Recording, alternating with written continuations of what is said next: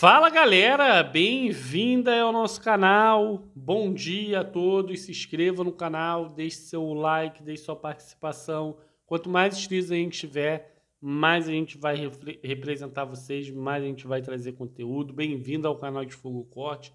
Um abraço aí para minha mãe, Dalva Leonardo, né?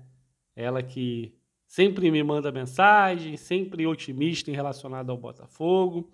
Então, um abraço aí para minha mãe, que é a número um aqui do canal. Ah, Diego, eu sou esposa. Minha esposa quase não vê, né? Ela quase não vê, me ajuda muito no canal, mas ela quase não vê os vídeos, né?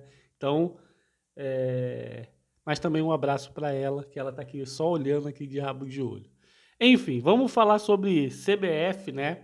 A CBF que vai processar o John Textor e o Felipe Neto é, de maneira criminal, né? Algo criminal.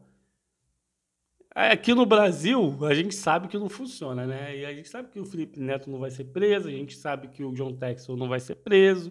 Porque quando é criminalmente, é diferente que for só o STJD, né? É, é, é uma cobrança né, mais leve. Pode ter ali uma punição, o John Textor, quando falou isso, ele sabia que havia uma multa. E enfim, né? Vamos ver o que a CBF vai aprontar. Ela, no meu ponto de vista, ajuda certos times de maneira tendenciosa. Mas para falar de corrupção, a gente deveria falar de provas, né? Então, eu não tenho como provar, e mais eu acho que é tendenciosa. Abraço.